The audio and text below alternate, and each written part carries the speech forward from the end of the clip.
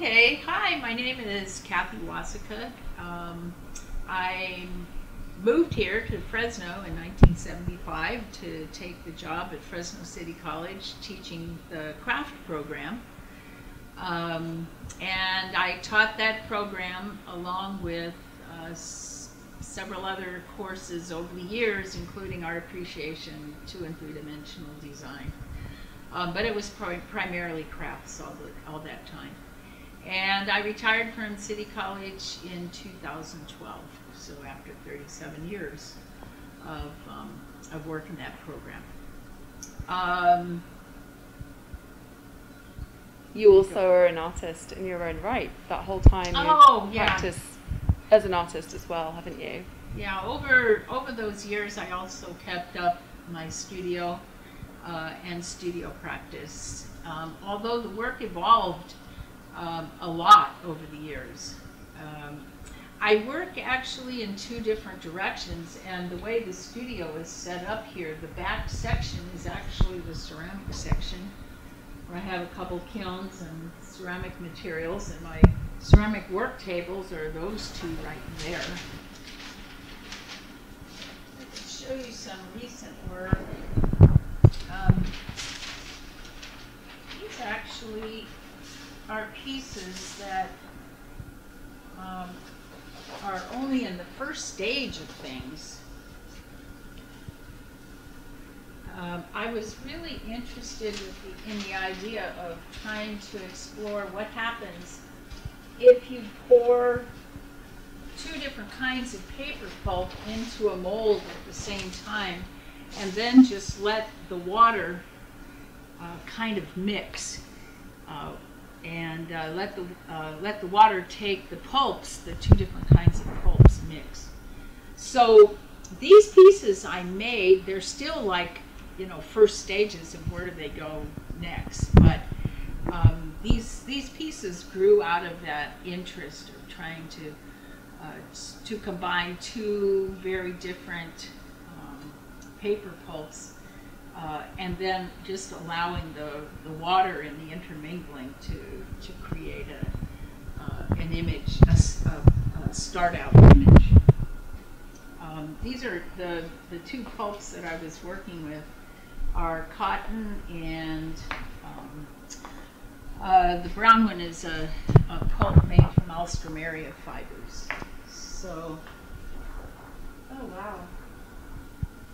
You can see they look different on both sides because you've got, you know, the water just kind of um, takes the pulp in different directions. This one, this one stays clearer because um, I did some work on the mold um, that really made it possible to uh, to have the same image in the paper at the end of the process as I had at the beginning of the process. What's what is the what is the um, Alstroemeria? What's the plant that that comes from? Uh, it's it's the one that you see all the time. It's a really good cut flower. It's called uh, another name for it is um, African lily. Um, you would recognize it. It's really common in, in floral arrangements and just because it lasts so long. And so I take the the stems of it. I have any here. May not. Yeah, here it is. You take the stems of it, um, chop it up, um, cook it, rinse it, and then um, beat it in that beater over there. And uh, it gets to be a really beautiful pulp and one that's um, amazingly strong. So, so these are these are these are beginnings of ideas and works in in progress.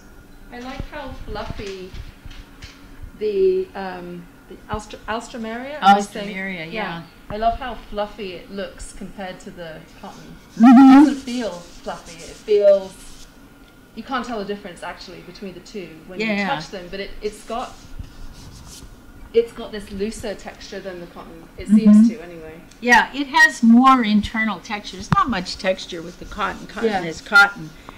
Um, but but fiber wise, um, the Alstroemeria has much more interesting um, internal texture with, within the pulp itself.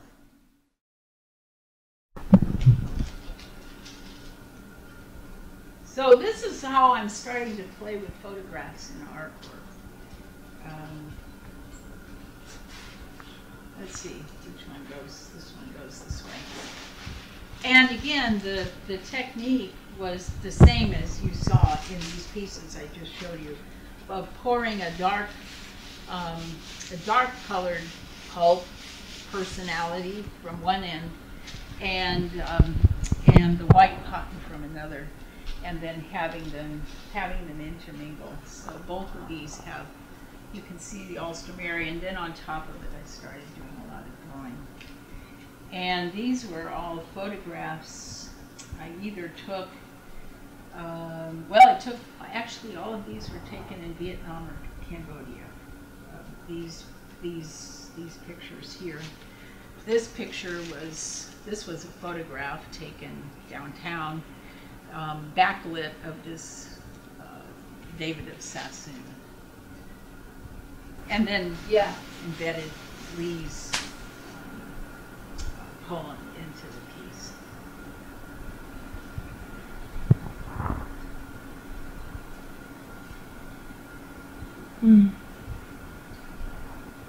I love the idea of using the the different the pulp personalities, as you said, Yeah, and using them to kind of create a a starting point, right, Mhm. with the work that then you can paint and draw and collage on top of. on top of, yeah, yeah, and even stitch into. you know, Yeah. This part up here is, is stitched onto the, uh, onto that handle there. So, yeah, um, you know, it, uh, and I, and I do this a lot. I'll make something like these pieces I showed you first, and they'll, they'll just sit for a long time. Uh, You know, I'll have the base idea, but then where to go from there, it's oftentimes a, a process that can take, you know, a few months or up to years to, to finally pull them out and go, ah, this is, this is where this is going. So, um, these are, these are the handmade paper pieces I've done most recently. Um, what I really have been working with primarily though in the last couple years is photography. That I was showing were photographs um, from uh, uh, airplanes flying at 30,000 feet that I'd been collecting for years and years and years on trips back and forth for conferences and visit family and all. And um, never really thought much about doing anything, except I thought that, oh, they have these wonderful designs, so I could always use them as a design in ceramic work, or I could use them in, in some paper ideas. Um, uh, that one piece that I sent you, it's um, uh, a bunch of leaves like on a shelf. Yeah, these these pieces came out of that first go around of working with these. Printed um,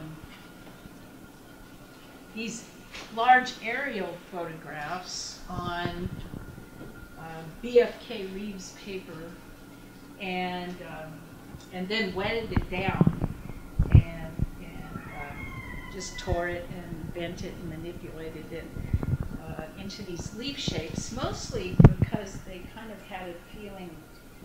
Uh, the landscapes um, were ephemeral, and I was trying to think of well, what else is is kind of ephemeral that you know that comes and goes, and, and so the idea of uh, printing these on paper and then turning them into leaf forms um, sort of grew out of that. So when I had this in my show, you could actually find all of the all of the photographs that that are were turned into leaves were up on the wall in flat form uh, in the exhibit.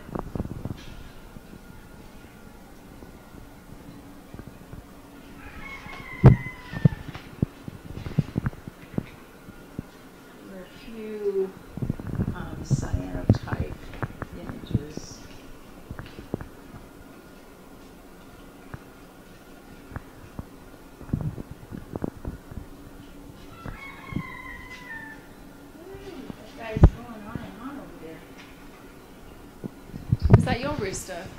No, he's just right over the fence though. Our, our fence is right there. And he's just right on the other side of the. I really like these little ones. Yeah, I like the fragments too. They're really, they're really sweet. Do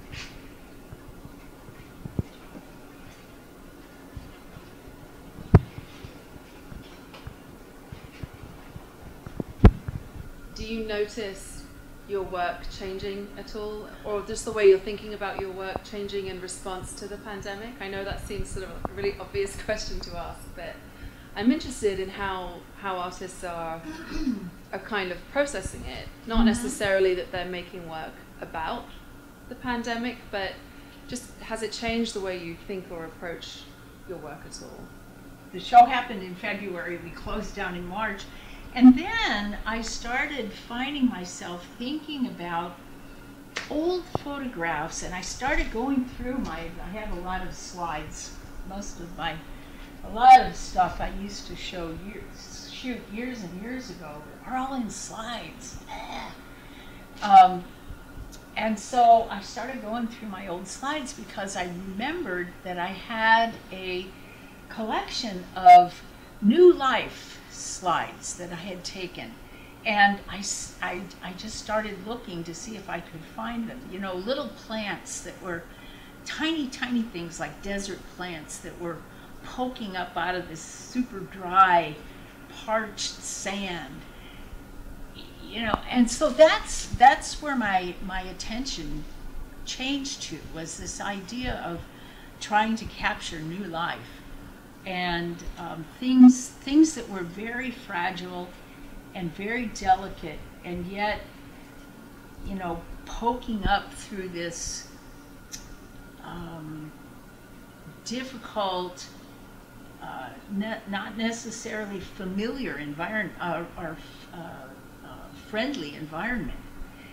And um, and so that's what I've been doing ever since now uh, I, I haven't hardly come out here at all. I spend a lot of time I, uh, trying to work out um, macro photography and taking um, photographs of interiors of flowers as if, say, you're a bug crawling around on the inside. What's the environment you see in here? Um, and so, some of those photographs I sent you, that's, that's what has come out of that. So yeah, it it really. Um, I hadn't thought about those photographs that I'd taken on hiking trips when I lived in San Diego years ago, but the pandemic all of a sudden made me think new life. You know, new life in a harsh environment, and you know what does that look like? And and so my, my go-to um, packet of images is always plants and so that's that that's what I've been really working on ever since. I love that you went from it's still all plants Uh-huh. from working with plant fibers to Yeah. thinking about the plants themselves Mm-hmm. in a different way. Oh, these are like these are kind of fun things to. This was a plant that was just in a, a real thin vase in the house, and it died. So I just left it bit by bit, kind of dry out, and it's just this beautiful linear drawing um, that the that the uh, words are doing. So I intend to do something with this and this. This stuff is lovely. This is mulberry bark. And it, if you take, um, if you strip the bark off of a mulberry tree and um, you cook it to get rid of all the non-cellulose fibers, so you just get down to the cellulose. Um, and then, instead of pounding it for paper makers, the next step is then you, you pound it, hand pound it to turn it into paper pulp. But if you don't do that, and if you just take the bark and start pulling it, this is what you get. This, this is just the natural bark, just pulled apart. and it's it's to me it's just some of the most beautiful stuff. Yeah, it's, it is. It's it's like, like ribbon. yeah, it's like it's it's like a woven ribbon, an interesting kind of woven ribbon. And I just really, really, I just love it.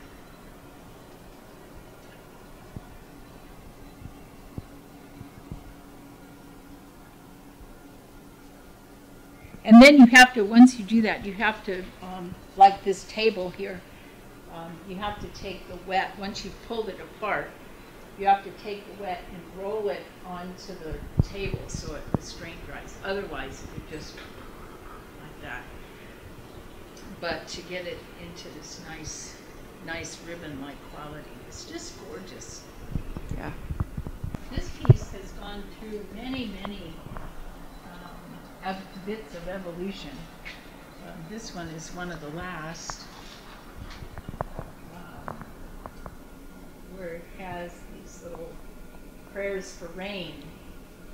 Um, they're written on, um, let's see, they're written on paper that has um, ginkgo leaves. I, I'm interested in this this idea of spirituality because you've referenced it a few times. You've got the altars that you've made on these Oh, prayers yeah. for rain.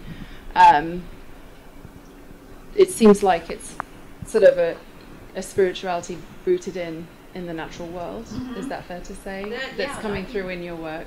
Yeah, Yeah.